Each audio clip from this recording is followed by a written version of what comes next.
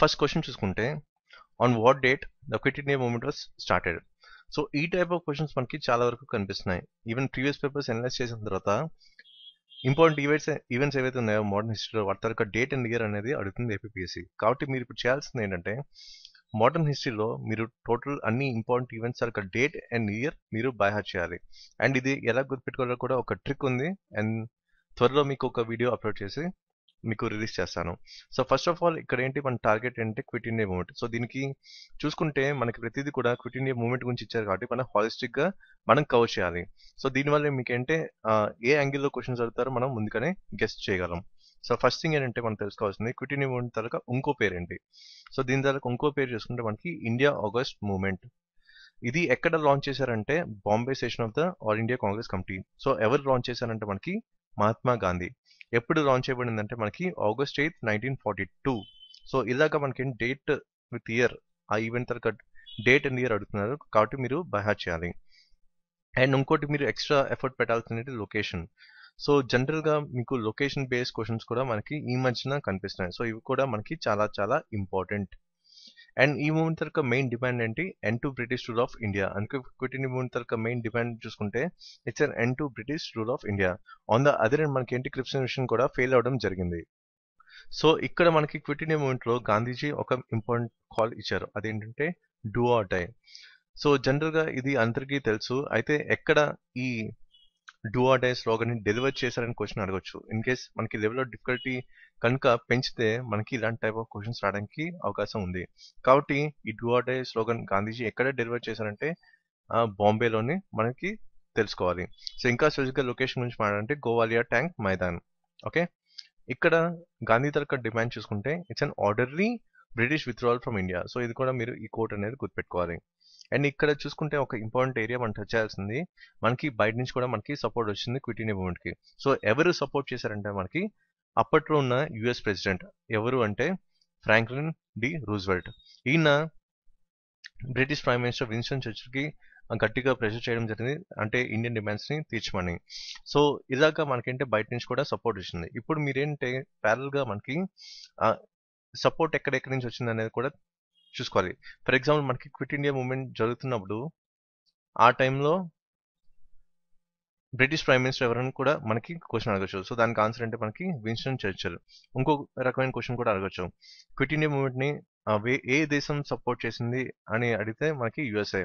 And మెయిన్గా అక్కడ president ఆ టైంలో ఎవరు అడిగితే మనకి ఫ్రాంక్లిన్ డి రూజ్వెల్ట్. సో ఇలా కూడా మనకి క్వశ్చన్స్ రావచ్చు కాబట్టి ప్రతిదీ కూడా ఒక డిఫరెంట్ యాంగిల్లో మనం కనెక్ట్ చేసుకోవాలి.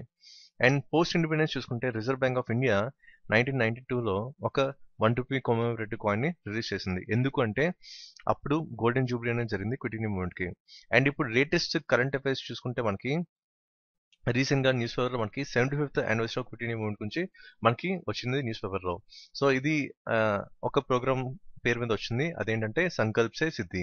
సో ఇది మీరు గుర్తుపెట్టుకోవాలి. ఇలాగ మనకి అంటే బోత్ స్టాటిక్ అండ్ డైనమిక్ థింగ్స్ని మీరు లింక్ చేసుకోవాలి. సో ఇక్కడ మనకి ఇంపార్టెంట్ కీ పాయింట్స్ చూసుకుంటే మనకి ఇండియా ఆగస్ట్ మూవ్మెంట్ అనేది ఒక ఇంపార్టెంట్ కీవర్డ్. అలాగే బాంబే సెషన్ ఎవరి చేత లాంచ్ చేయబడింది అంటే మనకి మహాత్మా గాంధీ. ఎప్పుడంటే August eighth nineteen forty two and Gandhiji ఒక ఇంపార్టెంట్ స్లోగన్ రేస్ చేశారు. క్విట్ మూవ్మెంట్ ద్వారా అదేంటి డూ ఆర్ డై ఎక్కడ డెలివర్ చేశారంటే బాంబే లొకేషన్ స్పెసిఫిక్గా చూసుకుంటే గోవాలియా ట్యాంక్ మైదాన్. అండ్ ఇక్కడ బయట నుంచి కూడా మనకు సపోర్ట్ ఇచ్చింది ఎక్కడ అంటే US president Franklin D Roosevelt అనే ఇన్వాల్వ్ అవ్వడం జరిగింది. అలాగే అప్పట్లో ఉన్న British prime minister Winston Churchill కూడా ఈయన ప్రెజర్ చేయడం జరిగింది. And ninety ninety two Reserve Bank of India ఒక వన్ రూపీ కామోరేటివ్ కాయిన్ కూడా రేస్ చేసింది. ఎందుకంటే నైన్టీన్ నైన్టీ టూలో మనకి golden jubilee of quit India జరిగింది. అలాగే లేటెస్ట్గా చూసుకుంటే seventy fifth anniversary of quit India అనేది కూడా మనకి లేటెస్ట్గా న్యూస్ పేపర్ వచ్చింది. అండ్ ఈ ప్రోగ్రామ్ పేరేంటి? సంకల్ప్ సే సిద్ధి. ఇలాగా మన థింగ్స్ని ఇంటర్లింక్ చేసుకోవచ్చు. నెక్స్ట్ క్వశ్చన్ చూసుకుంటే who is the founder of Arya Samaj మీకు ఇంతకుముందు ఇండియన్ హిస్టరీ హై టాపిక్స్లో చూసుకుంటే ఎక్కువ క్వశ్చన్స్ మనకి ఏంటి పర్సన్స్ మీద బేస్ చేసుకొని వస్తాయని చెప్పాను. సో ఇలాగా క్వశ్చన్స్ మనకి వస్తున్నాయి. సో ఇక్కడ ఫౌండర్ ఆఫ్ ఆర్య సమాజ్ ఎవరంటే మనకి రైట్ ఆన్సర్ ఏంటి? స్వామి దయానంద్ సరస్వతి. సో దీన్ని ఒక డీటెయిల్ ఎక్స్ప్లెనేషన్ ఫార్మాట్లో చూద్దాం. సో ఇప్పుడు మన టార్గెట్ ఏంటి? ఆర్య సమాజ్ గురించి తెలుసుకోవడం. ఇక్కడ ఆర్య సమాజ్ ఎప్పుడు ఫౌండ్ ఇప్పుడు ఎక్కడ ఎస్టాబ్లిష్ అయిందంటే మనకి April seventh eighteen seventy five start అయింది. అలాగే ఎక్కడ ఎస్టాబ్లిష్ చేశారంటే మనకి బాంబే. సో ఇంత ముందు కూడా మనకి బాంబే గురించి వచ్చింది. ఇలా క్విట్ ఇండియా మూమెంట్ ఎక్కడ లాంచ్ చేయబడింది అంటే మనకి బాంబే అలాగే మనకి డూ ఆర్ డై అనే స్లోగన్ని ఎక్కడ డెలివర్ చేశారు మనకి మహాత్మా గాంధీ అంటే కూడా అది బాంబే. సో ఇలాగ మన థింగ్స్ని ఇంటర్లింక్ చేసుకోవాలి. అలా అయితే మనకి లాంగ్ టర్మ్లో మనకి గుర్తుంటాయి. And Arya Samaj headquarters చూసుకుంటే అజ్మీర్ రాజస్థాన్. ఇక్కడ ఒక ఇంపార్టెంట్ కీ పాయింట్ గురించి మాట్లాడాలి. అంటే స్వామి దయానంద సరస్వతి యాక్చువల్గా టూ స్లోగన్స్ ఇచ్చారు. ఒకటి గో బ్యాక్ టు వేదాస్ అలాగే ఇంకోటి ఏంటంటే మనకి ఇండియా ఫర్ ఇండియన్స్ అయితే ఇక్కడ చిన్న కనెక్షన్ ఉంది ఇండియా ఫర్ ఇండియన్స్ ఇక్కడ ఫస్ట్ రైస్ చేసిన స్లోగన్ ఎవరంటే మనకి India for Indians Swami Dayanand Saraswati. కానీ లెటర్ ఆన్ మనకి ఇది ఎవరు టేకప్ చేశారంటే మనకి Lokmanya Tilak. So India for Indians first ఎవరు ఇచ్చింది కాల్ అంటే మనకి స్వామి దయానంద్ సరస్వతి అండ్ దీన్ని క్యారీ ఫార్వర్డ్ చేసింది ఎవరంటే మనకి లోకమాన్య తిలక్. ఇలాగ మనకి కనెక్ట్ చేసుకుంటే సింపుల్గా ఉంటుంది. అండ్ మెయిన్గా ఈ ఆర్గనైజేషన్ ఏంటంటే it's an attempt to reform Hinduism and based on the Vedas వీళ్ళంటే టోటల్ ప్రాక్టీస్ అని కానీ ఆ వాల్యూస్ కానీ ప్రమోట్ చేయడానికి చూశారు త్రూ ఆర్య సమాజ్ అండ్ మెయిన్గా ఆర్య సమాజ్ యొక్క మోటో చూసుకుంటే మేక్ ద వరల్డ్ గ్రేట్ ఇది కూడా మీరు గుర్తుపెట్టుకోవాలి. ఆ తర్వాత ఎడ్యుకేషన్ వైజ్ కొన్ని గురుకుల్స్ అంటే వేదిక్ స్కూల్స్ని కూడా స్టార్ట్ చేశారు. అండ్ మెయిన్ ఎంఫోసిస్ వేటి మీద ఇచ్చారంటే వేదిక్ వాల్యూస్ అలాగే కల్చర్ అలాగే మెయిన్ ఎడ్యుకేషన్ అనమాట సో ఎడ్యుకేషన్ అంతా కూడా ఏన్షియన్ వేదిక్ ప్రిన్సిపల్స్ మీద బేస్ చేసుకుంటూ ఎడ్యుకేషన్ అనేది ఇవ్వడం జరిగింది. ఇక్కడ మనకి ఇంకో కీ పాయింట్ అంటే ఫస్ట్ వేదిక్ స్కూల్ అండ్ ఇంకోటి ఇక్కడ మీరు చెప్పాల్సింది ఏంటంటే ఫస్ట్ అనే కీవర్డ్ సో ఎప్పుడు కూడా మీకు ఫస్ట్ అనే కీవర్డ్ మీద అట్లీస్ట్ ఒక త్రీ టు ఫైవ్ క్వశ్చన్స్ అనేవి మనకి కనిపిస్తున్నాయి. మనకి ఏపీపీఎస్సీలో out of one fifty at least ఒక త్రీ టు ఫైవ్ క్వశ్చన్స్ మనకి ఈ ఫస్ట్ అనే కీవర్డ్ మీద బేస్ చేసుకుని వస్తున్నాయి. కాబట్టి ఇలాంటివన్నీ కూడా మీరు బాగా చేయాలి సో ఫస్ట్ వేదిక్ స్కూల్ ఎక్కడ ఎస్టాబ్లిష్ చేశారు మనకి ఫరూకాబాద్ ఎప్పుడు అంటే ఎయిటీన్ సిక్స్టీ నైన్ నెక్స్ట్ చూసుకుంటే after the death of Dayanand Saraswati మనకేంటి వీళ్ళు ఫాలోవర్స్ అనేది కొంచెం స్ట్రాంగ్గా ఇంపార్ట్ చేశారు education on the base of western lines and దీంట్లో మెయిన్ కీ పార్ట్ ఎవరంటే మనకి లాలా హన్స్రాజ్ సో లాలా హన్స్రాజ్ మనకి ఎయిటీన్ ఎయిటీ సిక్స్ డిఏవి స్కూల్ని స్టార్ట్ చేశారు. ఎక్కడంటే మనకి Lahore and Anglo Vedic school కూడా ఎస్టాబ్లిష్ చేయడం జరిగింది లాహోర్ ఎయిటీన్ ఎయిటీ సిక్స్లో అండ్ ఇదేంటే ఒక న్యూక్లియస్ లాగా ఉంది ఆర్య సమాజ్ మూమెంట్లో ఆ తర్వాత మనకి నైన్టీన్ నాట్ టూలో మనకి స్వామి శ్రద్ధానంద ఈయనంటే ఒక గురుకులు స్టార్ట్ చేశారు హరిద్వార్లో. అండ్ మెయిన్గా ఆర్య సమాజ్ గురించి మాట్లాడుతూ కూడా జవహర్లాల్ నెహ్రూ ఆయన బుక్ డిస్కవరీ ఆఫ్ ఇండియాలో కూడా వీటి గురించి మెన్షన్ చేయబడింది. అండ్ మీకు ఆల్రెడీ తెలుసు go back to the Veda slogan ఎవరు ఇచ్చారంటే మనకి స్వామి దయానంద సరస్వతి. ఇది జనరల్గా అడిగే క్వశ్చన్స్ కానీ కొంచెం లెవెల్ ఆఫ్ డిఫికల్టీ కనుక పెంచితే మనకి ఇండియా ఫర్ ఇండియన్స్ కూడా అడగొచ్చు. కాబట్టి ఇది కూడా మీరు ఇంటర్లింక్ చేసుకోవాలి. నెక్స్ట్ క్వశ్చన్ చూద్దాం. Who sang Vande Mataram at the session of Indian National Congress in eighteen ninety six ఇక్కడ చూసారా మనకి సెషన్ అన్న తప్పించి మనకి ప్లేస్ అనేది మెన్షన్ చేయలేదు. యాక్చువల్గా ఇది కలకత్తా సెషన్ ఇన్ ఫ్యూచర్ మనకి ఏంటి ఈ టైప్ ఆఫ్ క్వశ్చన్స్ రావడానికి ఛాన్స్ ఉన్నాయి. మీకు ఎంతమంది చెప్పినట్టు క్విట్ ఇండియా మూమెంట్ మనకి ఏంటి బాంబే సెషన్ ఇలాగా మనకి లొకేషన్ బేస్డ్ క్వశ్చన్స్ రావడానికి అవకాశం ఉన్నాయి కాబట్టి ఇవి కూడా మీరు బై హార్ట్ చేయాలి.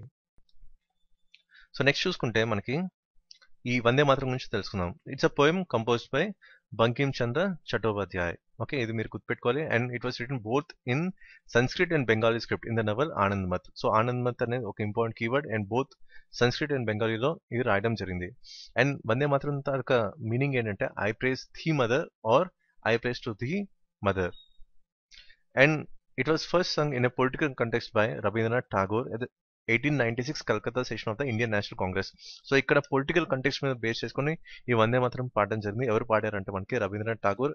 ఎప్పుడు ఏ ఇయర్ అంటే మనకి ఎయిటీన్ నైన్టీ సిక్స్ ఎక్కడ అంటే మనకి కలకత్తా సెషన్ ఓకే? ఇది కూడా మీరు గుర్తుపెట్టుకోవాలి. ఇయర్ ప్లేస్ అలాగే పర్సన్ ఓకే? అయితే అరబిందో గారు ఈ వందే మాత్రం ఎలా రిఫర్ చేశారంటే it's a national anthem of Bengal ఎవరు రిఫర్ చేశారు? National anthem of Bengal Vande Mataram అని అరబిందో. అండ్ పోస్ట్ ఇండిపెండెన్స్ చూసుకుంటే మనకి నైన్టీన్ ఫిఫ్టీలో మనకి ఈ నేషనల్ సాంగ్ కింద తీసుకోవడం జరిగింది వందే మాత్రం. అండ్ దీంట్లో కూడా మనకి only first two verses of the song మనం తీసుకొని అది నేషనల్ సాంగ్ కింద డిక్లేర్ చేయడం జరిగింది. ఇది ఎప్పుడు మనం అడాప్ట్ చేసుకున్నాం అంటే మనకి Jan twenty fourth nineteen fifty. ఇది మనకి ఇండియన్ పాలిటీ లెక్చర్స్లో మీకు చెప్పాను మేకింగ్ కాన్స్టిట్యూషన్లో ఈ నేషనల్ సాంగ్ ఎప్పుడు అడాప్ట్ చేసుకున్నాం అంటే Jan twenty four nineteen fifty. Okay? ఇది కూడా మీరు గుర్తుపెట్టుకోవాలి.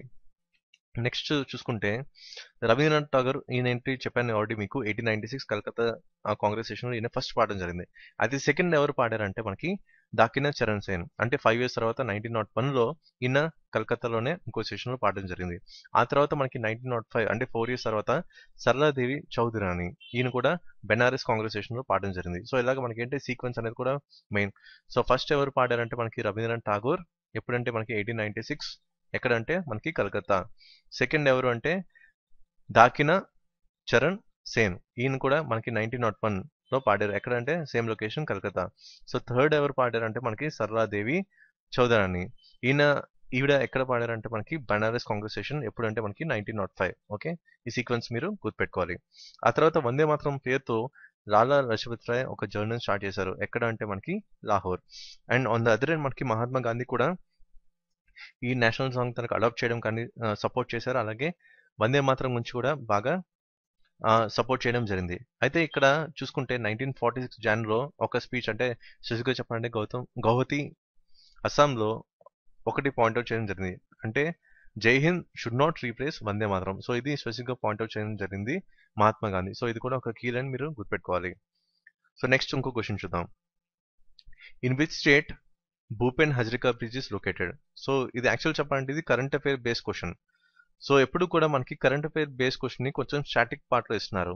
సో దీనికి చూసుకుంటే మీకు డీటెయిల్ ఎక్స్ప్లెనేషన్ పార్ట్లో చెప్తాను.